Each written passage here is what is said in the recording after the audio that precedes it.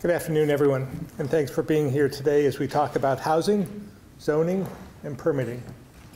First, I want to thank the group of stakeholders we have here today representing municipalities, businesses, nonprofits, and home builders who are here because we all agree we need to make building housing easier, faster, and more affordable in Vermont.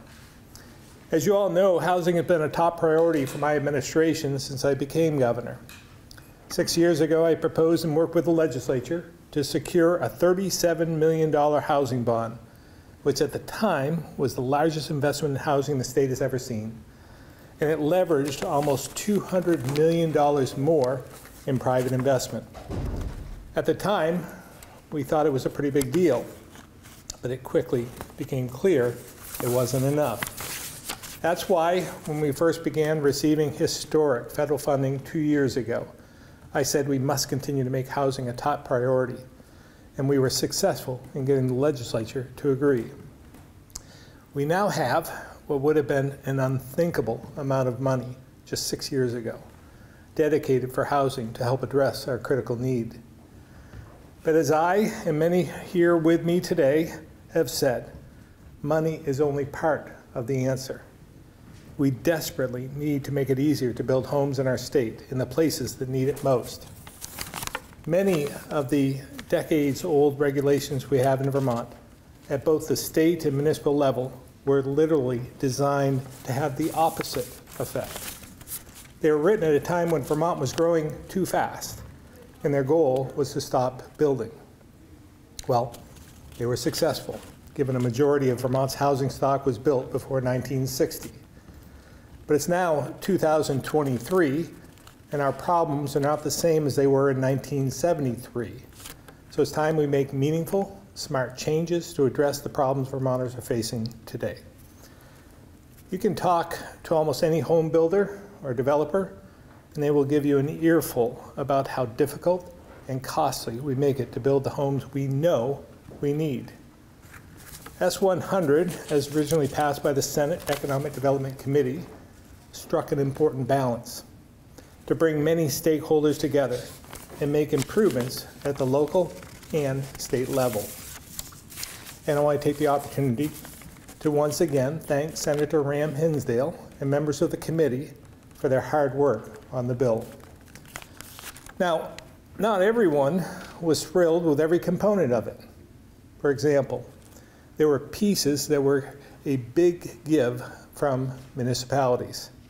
And I personally would have liked to have seen the Act 250 changes go much further. But the bill was crafted in a way that acknowledged both the state and municipalities have to give a bit and have a role to play. Put simply, what came out of Senate Economic Development was already a big compromise. Unfortunately, the changes offered by Senate Natural Resources have put this balance in jeopardy. If we're truly serious about addressing the housing crisis, we need to make it easier to build at both the state and local levels. If the legislature continues to ignore Act 250 reforms, I don't believe they can say they're serious about solving our housing crisis. Importantly, the changes made by Senate Natural Resources remove pieces of the bill that would help lower income families in rural communities. What message does that send to the communities and people who need our help most? We also have to recognize we can't rely on municipal reforms alone. We need to do our part on the state level to remove a few roadblocks as well. Because we're not going to solve this problem in less than the 33 square miles of designated areas this bill will now limit us to. We need to put all the tools on the table and work together and we need to do it this session. And this isn't a partisan issue. Many Democrats, independents, and Republicans agree we need to make smart reforms in order to help people who desperately need housing they can afford. With that, I'll now turn it over to Ted Brady, the Executive Director of the Vermont League of Cities and Towns. Ted? Right here, Governor. I'm easy to miss. Well, thank you so much. Uh, Let's start by uh, the Vermont League of Cities and Towns wants this to be crystal clear. Uh, local officials are on the front lines of Vermont's housing crisis, and we're eager to partner to solve that crisis. Uh, municipal officials are the ones responding to hotels that are overfilling with the housing insecure, sending more police and more fire there than they ever have before, dealing with uh, the density that has suddenly occurred through the pandemic. They're the ones that are uh, changing their zoning laws uh, at a really rapid pace to respond to the needs that are out there. Uh, and they're the ones, oftentimes at the local level, who are facilitating really innovative housing solutions with nonprofit and for profit developers. In some instances, giving away land, creating housing trusts where taxpayers are putting money in to create housing, you name it. Cities and towns are going to continue playing that role in addressing the housing crisis. Uh, and it's really important to know, though, as the governor just said, we can't do it without the state's help. Uh, S100, unfortunately, as drafted, ignores the largest obstacle to housing development in the state of Vermont, and that's Act 250. Cities like Burlington, cities like Winooski, South Burlington have implemented nearly every single reform that's in S100 when it comes to municipal zoning. Uh, yet they still run into problems. They're still unable to build housing. They still have developers hung up in uh, uh, you know, duplicative permitting processes. They're still paying tens of thousands of dollars per unit extra because of the duplicative process. We have 40 towns in Vermont that have no zoning. Those 40 towns don't seem to be solving our housing crisis, so it can't be zoning alone that's causing this problem. Nearly 100 communities have used municipal uh, planning grants to update their zoning bylaws. Many of them including the recommendations that the Agency of Commerce and Community Development's Zoning for Great Neighborhoods Guide recommends. Some of those recommendations are codified in S100. Towns are ahead of the curve in many parts of the state on solving, uh, on contributing to this, uh, to, to contributing to solving the crisis. But year after year, the state continues to study the number one problem, which is Act 250, just not doing their part to solve this crisis. The governor just pointed out that we here at the League have tried our hardest to get on board with some big changes and make compromise. Most of S100 dismantles the work of local planning commissions that's been done for the past 50 years. Those planning commissions are tasked with determining where best growth can happen based on the natural environment and the built physical environment that's come over uh, centuries, really, in Vermont. S100 eliminates single family zoning in Vermont, making Vermont potentially one of the first states to do that in the country. S100 requires five units of housing to be built per acre where sewers and water are present, regardless of a community's water and wastewater capacity. S100 eliminates a community's ability to weigh in on where a homeless shelter is built regardless of transit, water, sewer, police, fire, rescue, and other municipal services being available. Uh, S100 allows builders to build higher than current laws allow in those towns, regardless of a community's firefighting capabilities. S100, and regardless of um, uh, public transit and other non-existent municipal services. It proposes to do these things without a single study. Those are huge changes. And they're things the Vermont League of Cities and Towns has come to the table and said, maybe, we want to work with you to try to find this, find a way to solve this problem.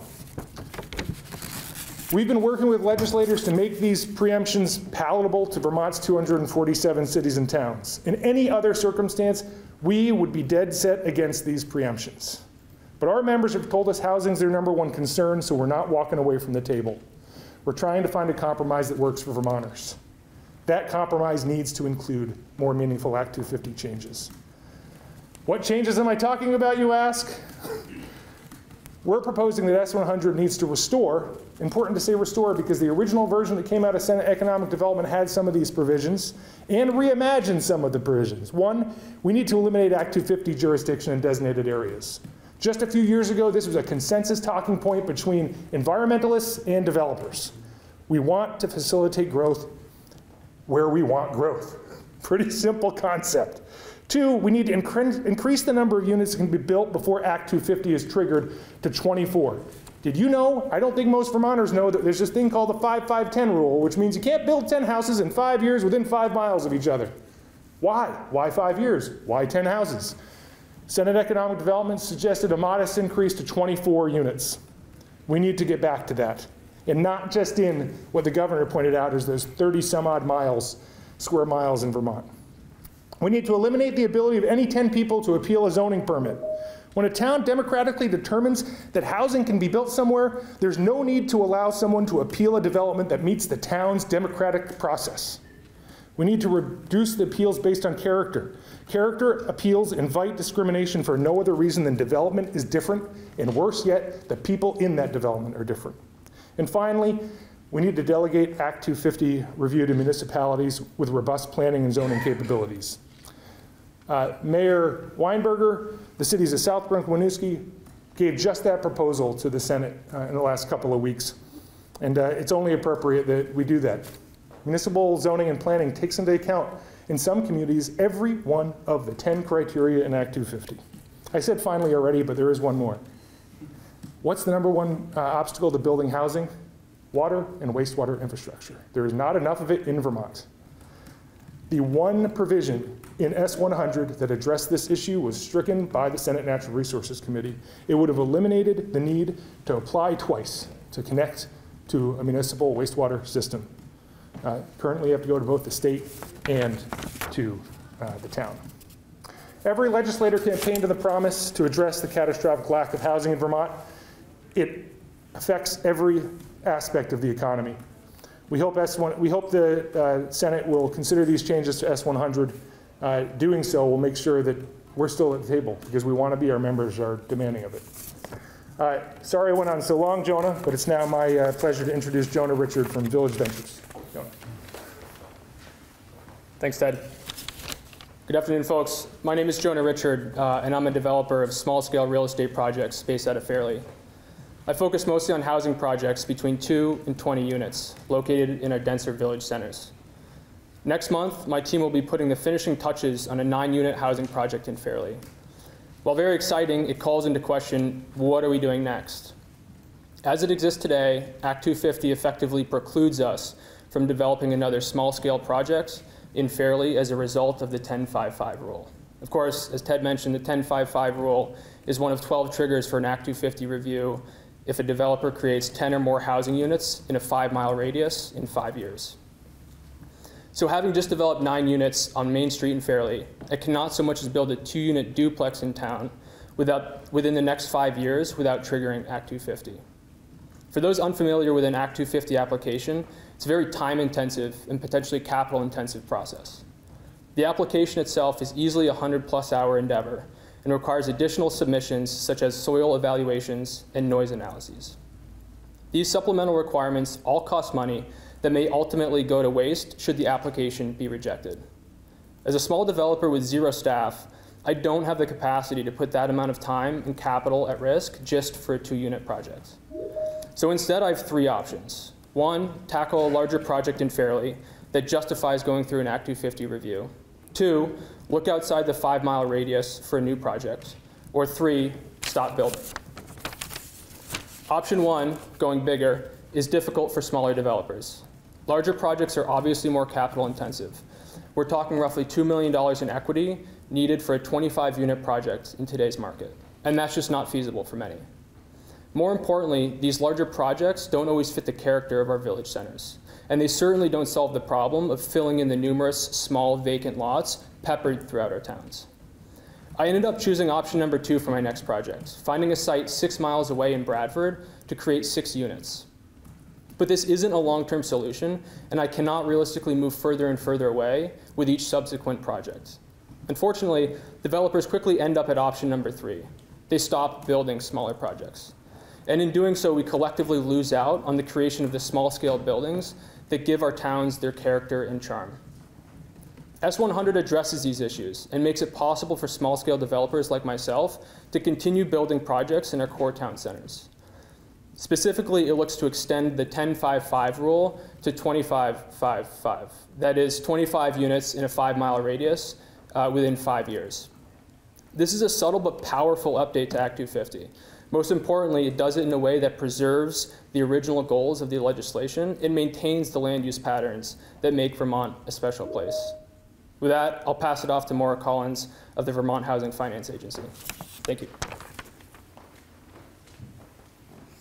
Thank you, Jonah. As he said, I'm Maura Collins with the Vermont Housing Finance Agency.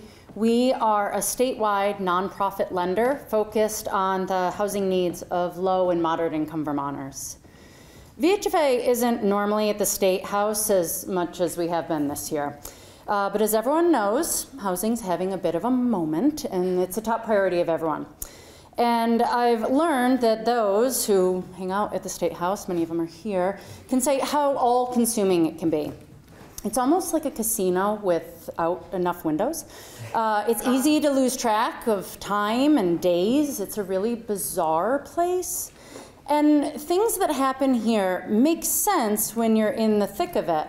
But when I go home and I try to explain this to what goes on to my family, my, even my understanding really kind of fades away. For example, when the legislature began, I was very optimistic that we were going to make meaningful progress on making housing more affordable and accessible because lawmakers told us that they all heard the same things on the campaign trail. They heard from constituents who were told of stories of aging parents who were living in unsafe housing.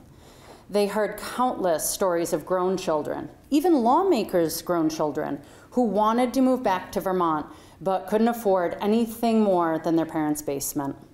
Small employers who talked about their inability to be open seven days a week because they didn't have enough workers. And I know I've heard Shawn Tester from Northeastern Vermont Regional Hospital speak repeatedly at the legislature about losing well paid medical staff because the candidates couldn't afford housing in the Northeast Kingdom, even with substantial salaries.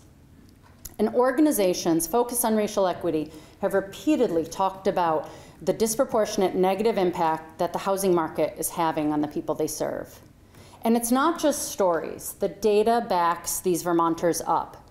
Last year, the largest jump in home prices since the tax department started collecting the data in the 1980s.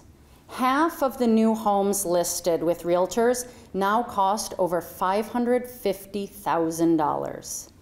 And if you're a white Vermonter, you are three times more likely to own your home than if you're black. Renting in Vermont is no better. The prices of building affordable housing has increased by more than 30% over the last few years. And demand for all types of housing is growing because the rate of people moving into Vermont since the pandemic began has almost doubled. And here at the State House, where time and money move at a very different pace, VHFA was thrilled to see the Housing Opportunities Made for Everyone bill pass out of the Senate Economic Development Committee. This was a smart growth bill that balanced the needs of animal habitats with human habitats. It has strategic investments in award winning programs and folded in new innovative ideas. And as a key provision, it changed Act 250 to allow for up to 25 homes to be built before needing a state permit, which was an increase from the current limit of 10. And as the bill is winding its way through the process, you've heard, it's evolving. It, and its broad statewide impact is now being limited to only a few select communities. It's looking more and more like the legislature wants to concentrate dense, affordable housing in our downtowns, which limits opportunities for newer Vermonters who are far more likely to be people of color. It also leaves our small, smaller rural towns behind, further exacerbating the urban rural divide that Governor Scott has long talked about. When we go home to our families or our constituents, I wonder how we're supposed to explain this outside of this building. Maya Angelou said it perfectly. We do the best we can until we know better, and when we know better, we do better. We know better, it's time to do better. Oh, I'm sorry, I'm. was a little wrapped up in my moment. Uh, I'd like to introduce Catherine, Catherine Dimitruk, the Executive Director of the Northwest Regional Planning Commission. I'm sorry, Catherine.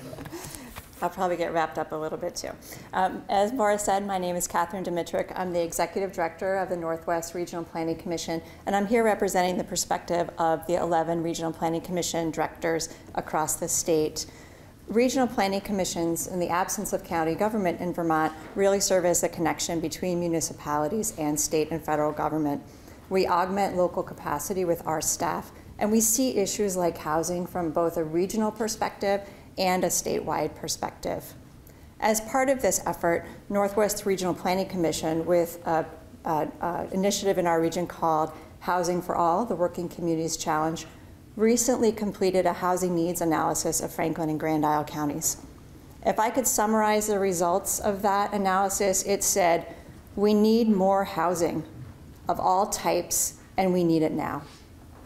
Specifically, we found back in 2020, this is the data that was used, 43% of renters were currently in an unaffordable apartment, and 30% of homeowners were in an unaffordable house.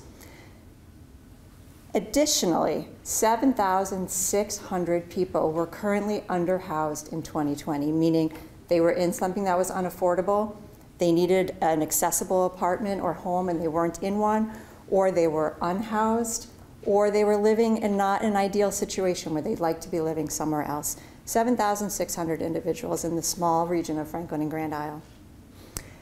S100 tries to address this crisis and tries to do it in a smart growth way. Housing is complicated. We're not in control of many of the factors that impact housing, but we are in control of some of them, and permitting is one of them. S100, as it was drafted, had a balance between local regulatory changes and state regulatory changes. And that balance is important because both of them impact how housing is built, how quickly it is built, and where it is built.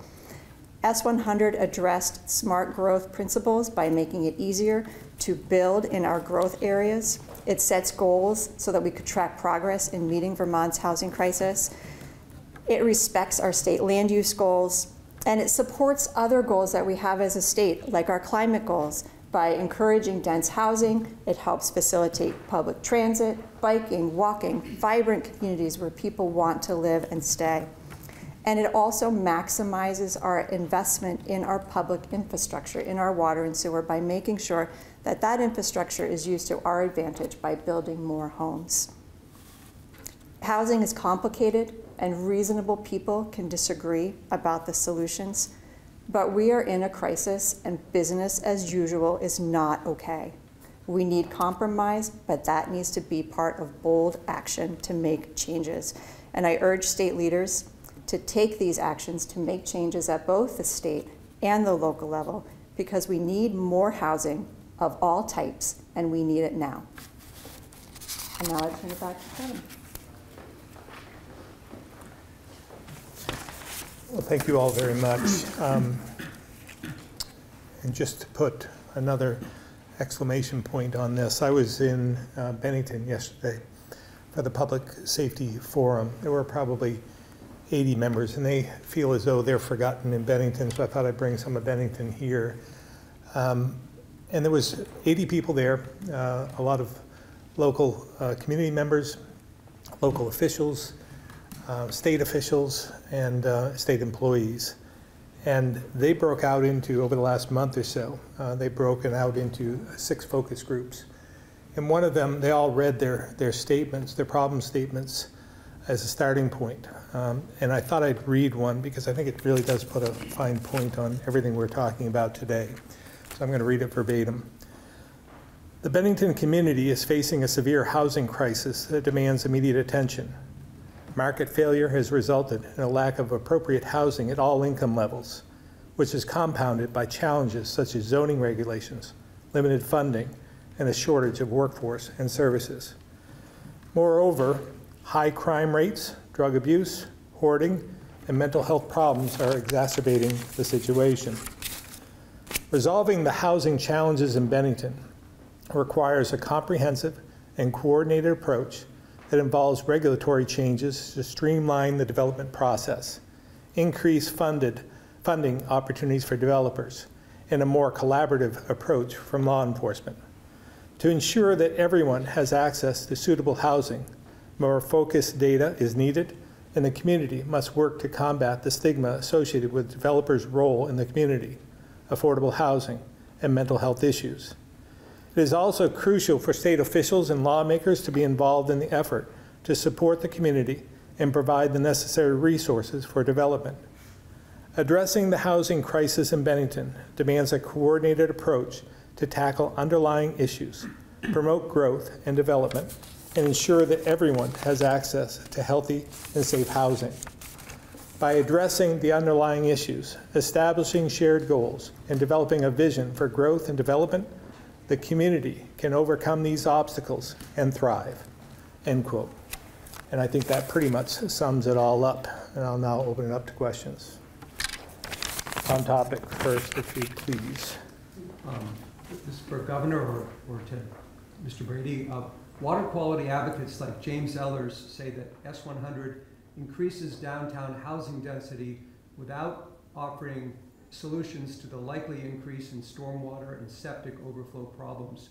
What, what are the solutions in S100? Do you want to take that, Ted? Sure, I can try. You know, S100 tries to strike a balance between facilitating housing growth, protecting the environment, and uh, you know, recognizing the unique nature of every one of our communities. And we have historic growth happening in, uh, we have historic growth settlements that are unfortunately in our river valleys. It's kind of the, the, the curse of a couple hundred years. So uh, over the uh, time, there have been a lot of measures put in place. Zoning, local zoning tries to look at that. Uh, you know, the current Act 250 uh, program tries to look at that.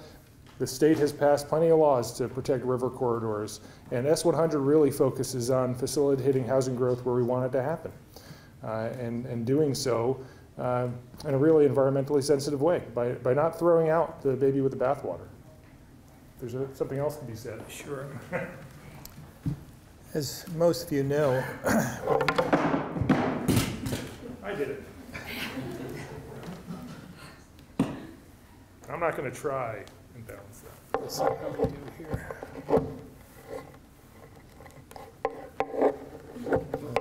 That's interesting. There we go. Governor, if I could add just one other point in regards to Ted, but go ahead. Yeah, I- I- let me just, uh, let me just, maybe you can feed off from this. Um, As most of you know, um, when we received all the historic federal funding, the ARPA money in particular, um, I had asked that we separate this in buckets, and uh, some of it was for climate change mitigation, housing, broadband, and stormwater, and, uh, and uh, water and sewer as well, that infrastructure. So about, I'd asked for 250 million to be dedicated for that. And we were mostly successful in doing that, and so we have a lot of money that is available right now to upgrade uh, some of the sewer systems and so forth. Now, we also have other money uh, that is flowing in, the IIJA and so forth, bipartisan infrastructure bill that passed uh, the Congress. So that's going to bring even more money. But here's what we have to watch out for, and something that I warned about like three or four weeks ago.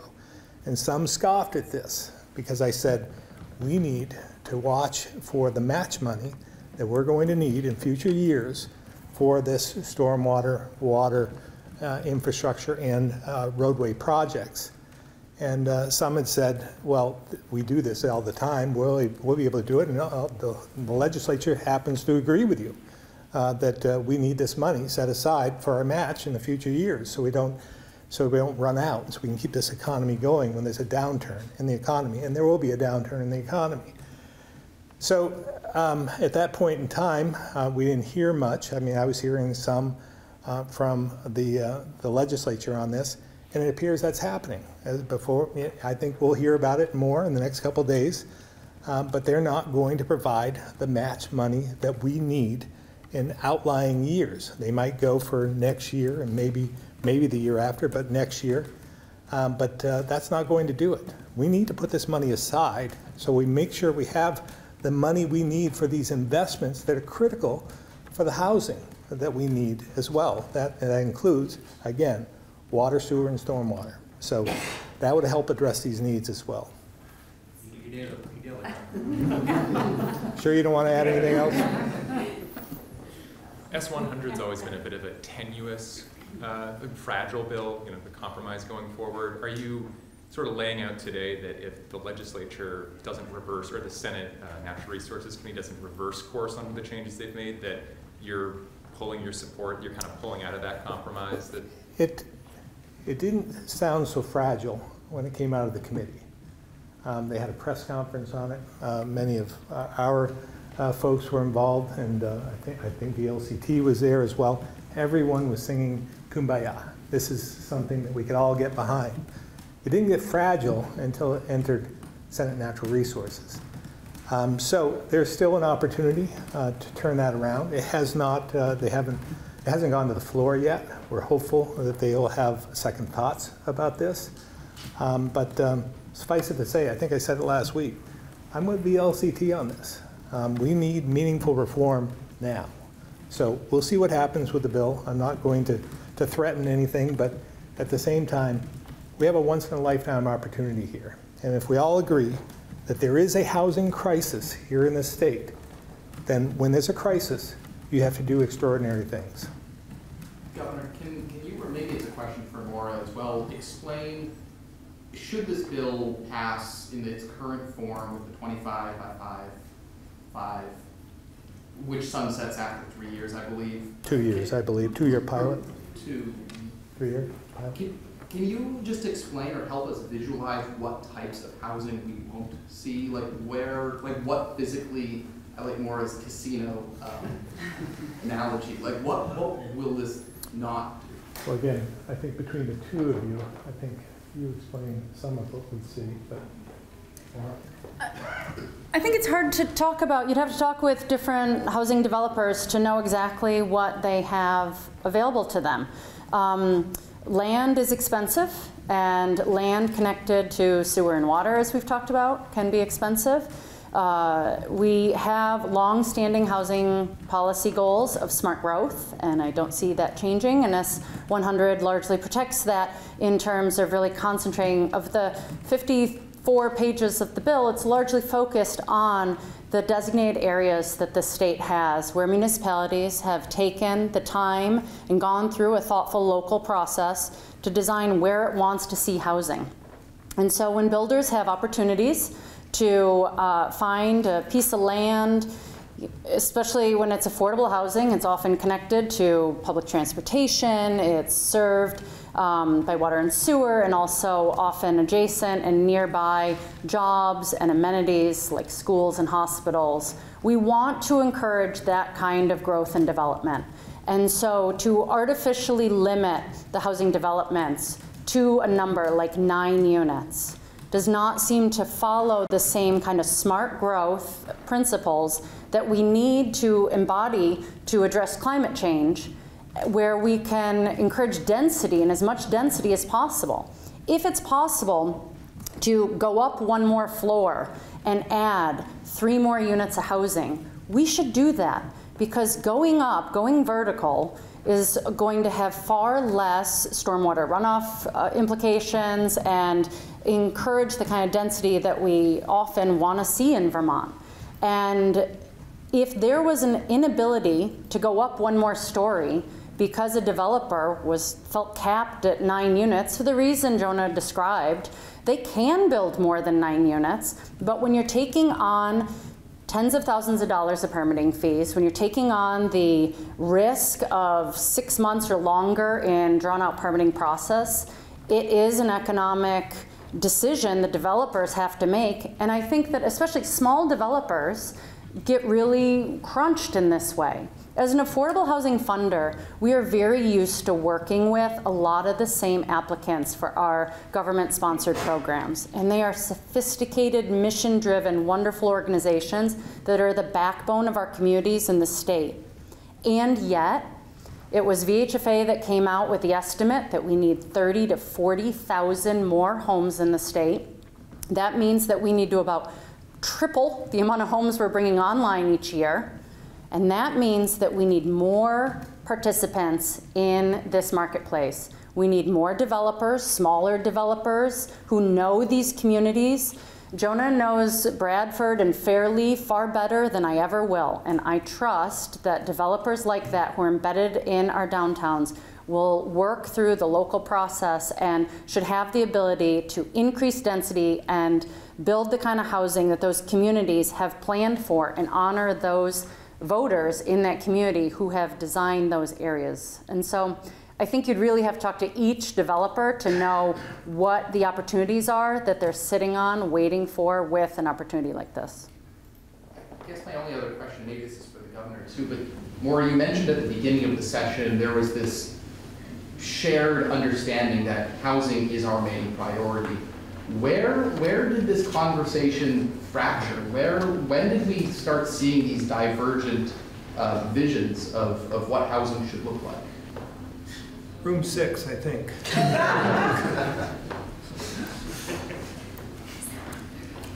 Uh, I'm happy to add some context to your question. Uh, So specifically for me as a small-scale developer, uh, the unit size where it makes sense to pursue an Act 250 project is somewhere 20-plus units, 25 units plus. I think what we'll start to see if the 25-5-5 rule doesn't pass is less of these small-scale projects, duplexes, triplexes, fourplexes, being built in our smaller towns. So for example, uh, in Fairlee, right, there's, there's a number of scattered sites throughout the village center that are prime locations for like a three-unit rental house or three-unit you know, purchase for some homeowner. Uh, but like someone like myself cannot pursue that anymore unless we expand the 1055 rule because I've already developed, developed those nine units in the village center. Um, so yeah, I think, I think we'll start to see a lot less of that unless this, this uh, update passes.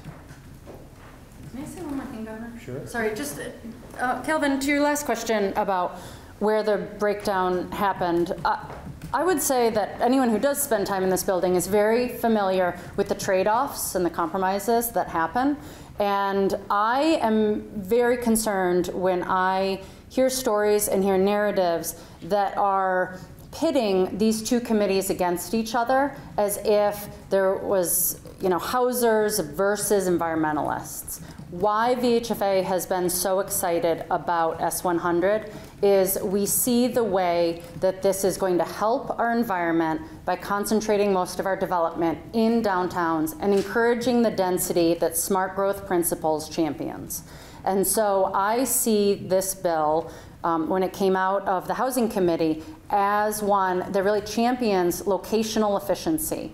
We've all heard the stories about the um, impact of climate change from transportation and from driving and having, not to mention the time and cost to our families and our mental health by having to be on the road because we have to live further and further from where our jobs are.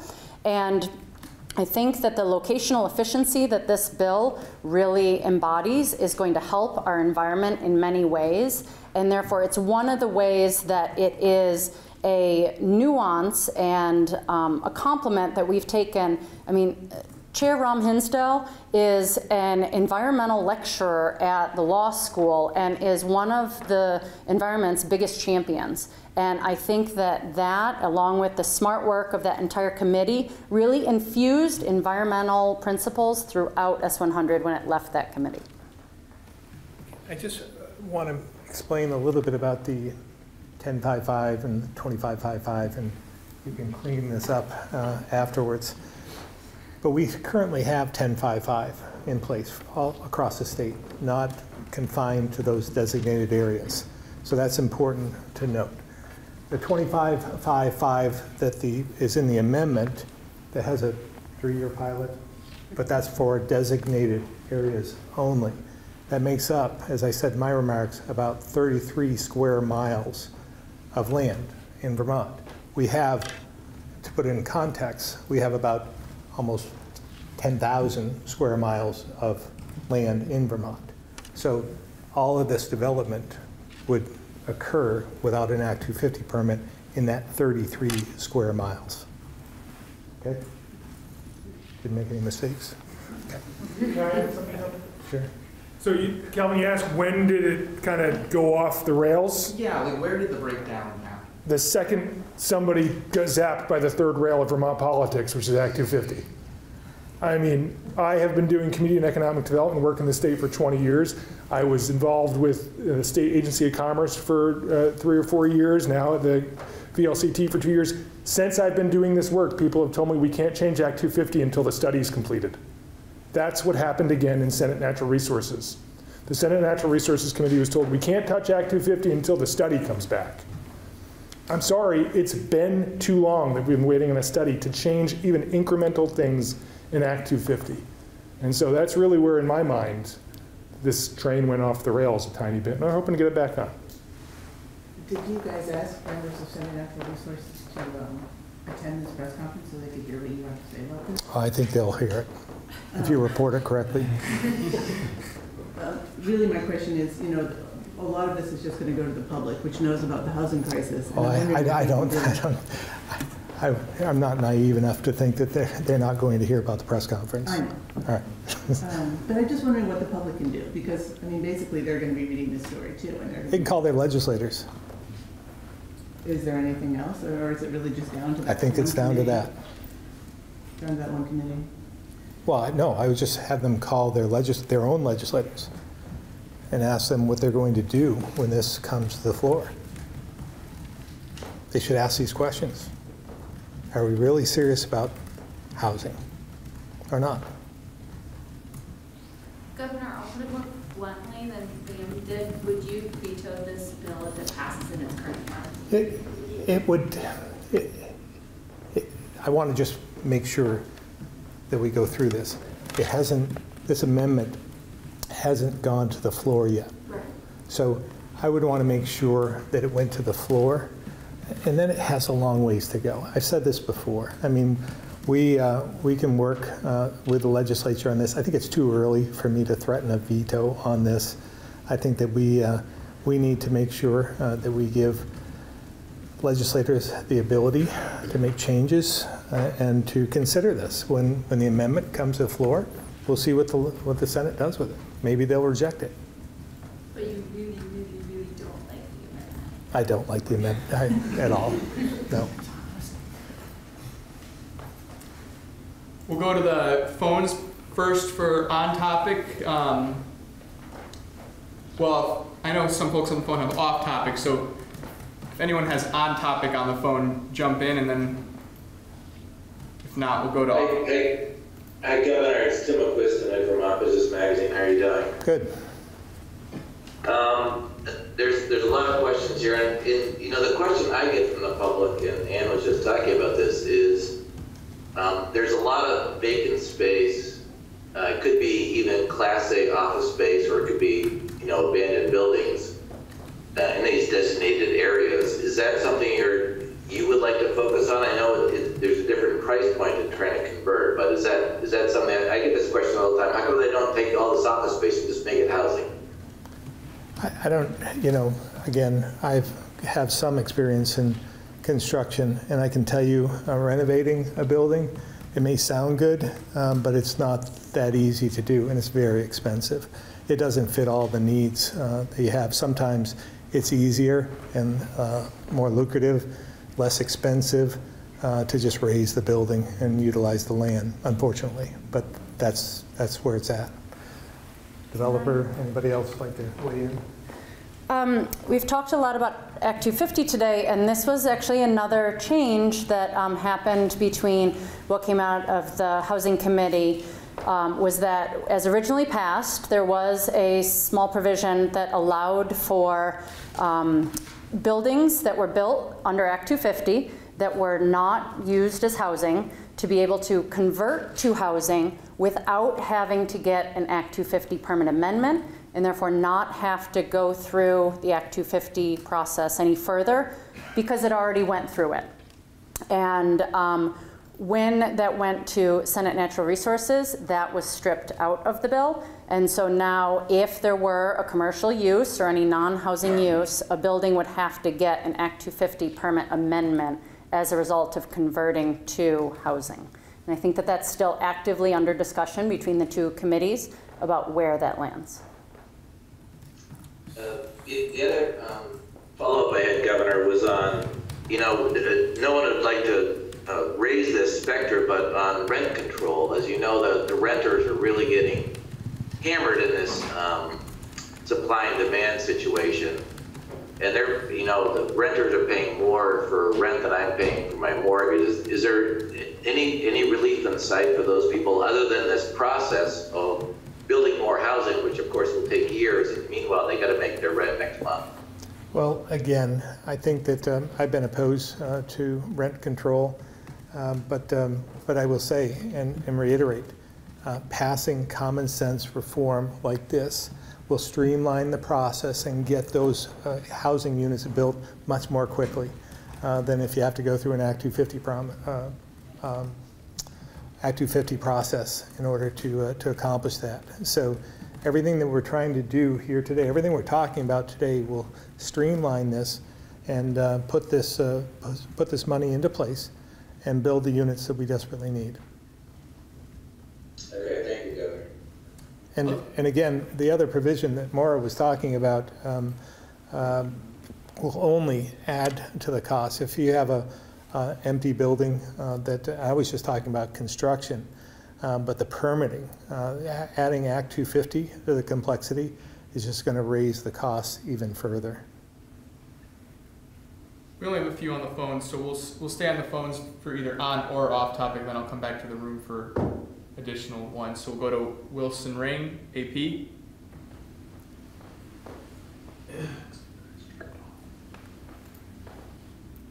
I think you're Wilson. muted. Wilson, you're, Muted, you're Wilson. muted. We're all in unison telling you that, too. Willie, you're muted. Uh, There must be some other technical problem. I usually just unplug my computer and plug it back in. Wilson, I'll come back to you if you want to try the governor's IT solution. Um, We'll go to Tom Davis, Compass Vermont. Uh, Thank you, uh, very informative and much appreciated, Governor. Um, Yes, that's a good question. Thanks, Tom. Chris Roy is not on anymore, you said? All right, Wilson, we'll go to in, in the room off topics, and then I'll come back to you at the end. If these are off topic and you don't want to be in this mix, feel free.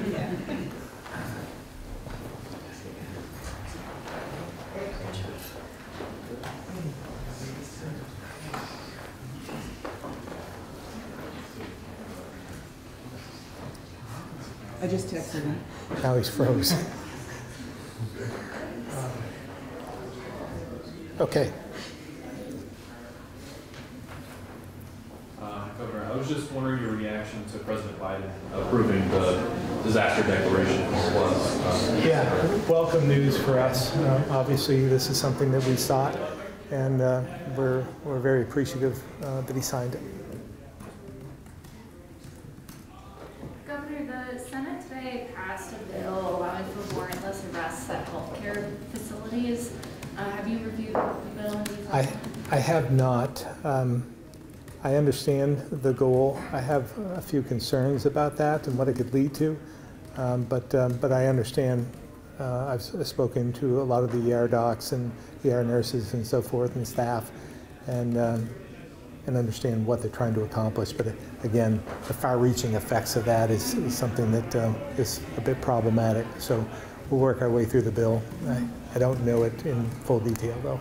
What are some of those concerns? Well, it's just being able to, without a warrant, um, being able to, to do this is, sounds almost, in- you know, non-constitutional, but I don't think it goes that far, but it's just, it's just getting to the, um, you know, pushing the envelope a bit, I believe. Treasurer Pieciak and uh, several Senate lawmakers are working on a bill, I think it should be in the Senate this week, um, uh, Vermont, you know, V- VT Saves, Vermont Saves, uh, essentially a IRA-style retirement account for Vermonters that uh, that don't have that, that option through their current employer. Is that something that, that you'd support Um, Is it mandatory? for employers, yes? There's no opt-out provision in that? There is one For employers, It's We don't. It's employees can opt out, and it's made its way for employers who don't currently have a retirement plan for Okay. their staff. Well, I like the, the, the non-mandatory provision in that, uh, you know, the ability to opt out, whether it's, um, and we'll see whether it's for employers, employees, and so forth. I haven't, obviously, I haven't seen the bill or uh, the concept yet, but uh, if it was a mandatory provision throughout, I might have some issues with it, but, but again, this is something we've been trying to do with paid family leave, as you might remember, uh, with our voluntary program. So it's something that should be, maybe should be considered when they're building their paid family leave proposal. Governor, I heard you give a keynote address at the Clover Club in Boston earlier. I didn't see you there. Yeah, I guess, I'm so sorry. Well, I don't think I could be there because isn't it men's only? I, there were only men there, and I, I, yes, it's something that's been going on. It's an Irish tradition of some sort in Boston. Um, it's been going on for about a 130 years or something. Um, so I was, uh, a Vermonter had reached out to me, um, a business owner in, in Vermont, and is involved in the organization and asked me if I'd speak. Uh, I was going to be down in that area. I was uh, at my daughter's building a stairway uh, for her um, on, uh, on Saturday. Uh, so I said I would stop on the way back. So I did partake in that. Do you think it's really kosher to have men's only services? Well, with the remarks that I gave, um, I'm, I'm hoping, you know, I talked a lot about um, respect and civility and, and trying to treat people better and some of the problems of the world and the polarization that we're seeing in politics and so forth. So, you know, from my perspective, getting that message out to anyone who wants to listen is important in these, these days. So, um, but as far as the club is concerned, I, uh, you know, I, I don't think they would start anything like that today. Um, it's kind of a tradition. Uh, I know we have, uh, uh, there's a club in Barre, I think the Mutuo. I don't know if they're still an all men's club. It's an Italian club.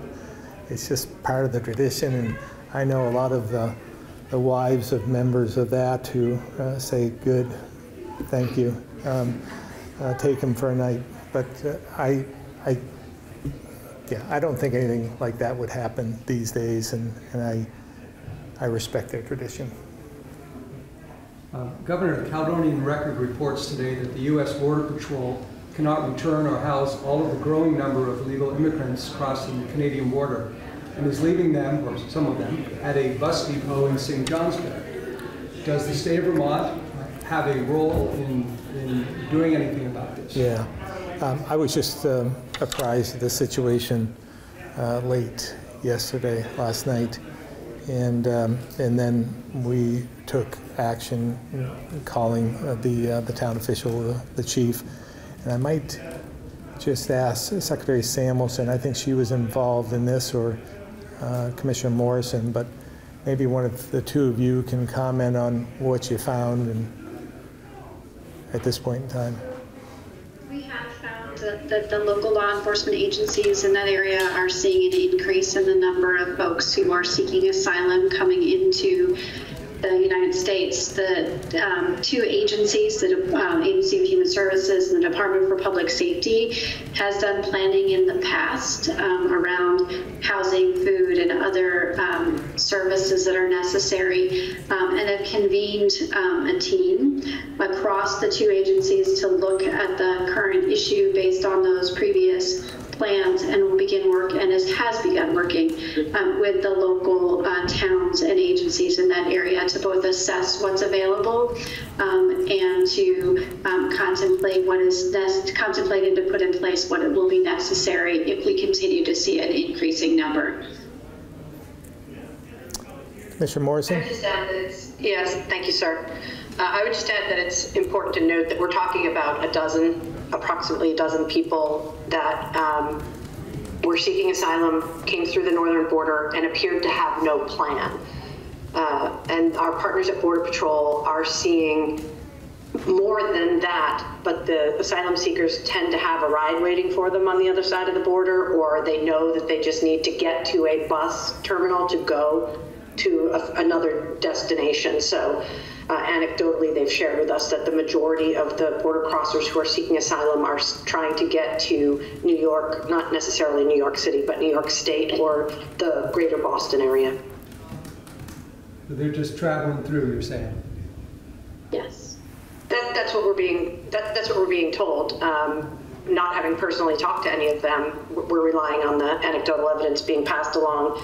Um, and while a dozen people across two communities is not a significant amount, I think that we need to be prepared should that number increase, um, particularly as the weather gets better. Any, has there been discussions with Border Patrol saying, hey, this is your problem, do something about this?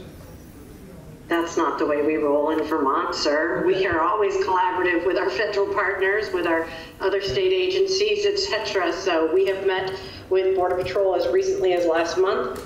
Uh, my deputy commissioner was in touch with Border Patrol again last evening. Uh, so we will stay in constant contact with them to address this issue in the most humane yet responsible manner. I think we need to have some conversations on a on a larger scale about exactly what we're prepared to do. Thank you.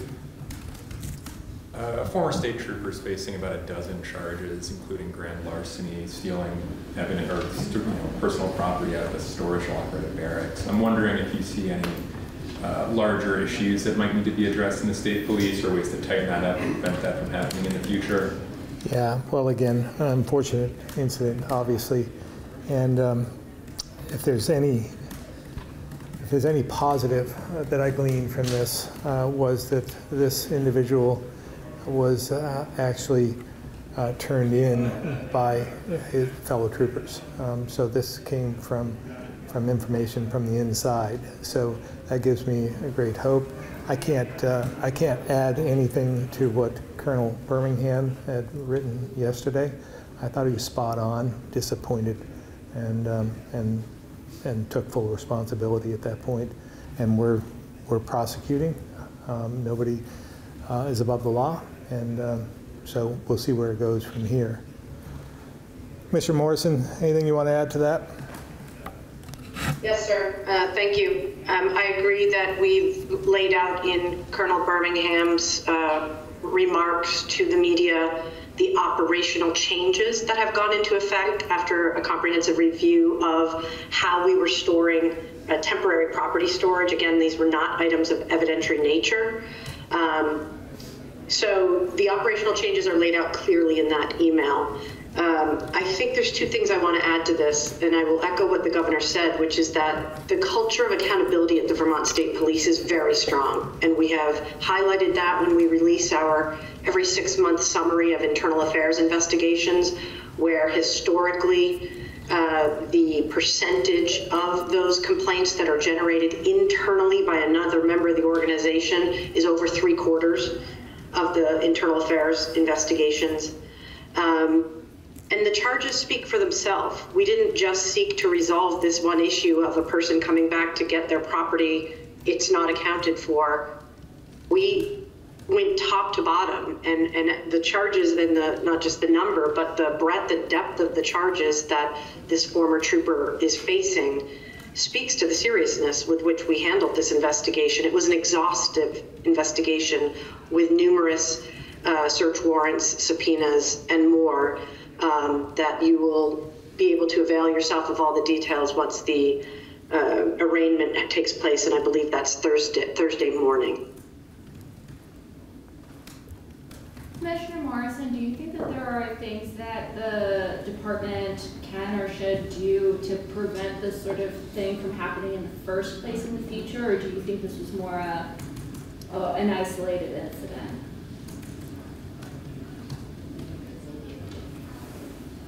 To say it's an isolated incident would presume that I had a crystal ball and would say it would never happen again, that something like this happened again. However, whenever we employ humans, there's room for error. People make people make mistakes, and in this case, this was not a mistake. This was a determined person who was determined to uh, commit policy violations and law violations, and believed he would get away with it because of his position. Um, I think that we, anytime a big situation like this happens, and even on the small ones, we should reflect on uh, how well we're supervising people, how well we select people in the first place, um, and how we continue to shape the message around culture and ethical responsibility um, and conformance to law. So I think there's always takeaways. If there aren't, then we're not we're not treating these instances seriously enough. And we have done a, a full, robust review of everything we know about this uh, individual.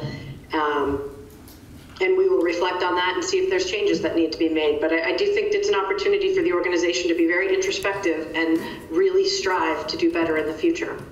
But, but again, I got to come back to the fact that the culture of accountability is strong in the state police. The minute it became clear that there was missing property from those barracks, an individual came forward and said, Hey, I saw that guy with a Rolex. So it, that speaks for itself. Got time for maybe one more. Sure. Um, Governor, Not, the, well, not for you, maybe, but we'll- I may give it to you. critics of the Education Committee bill regulating private schools say that it punishes rural towns that rely on private schools by requiring open enrollment. What do you think about this bill?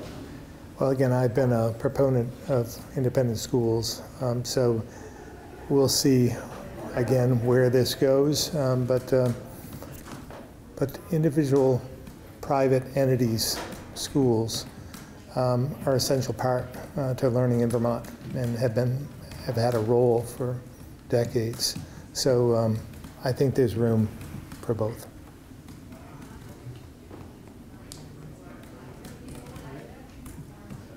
All right, thank you very much.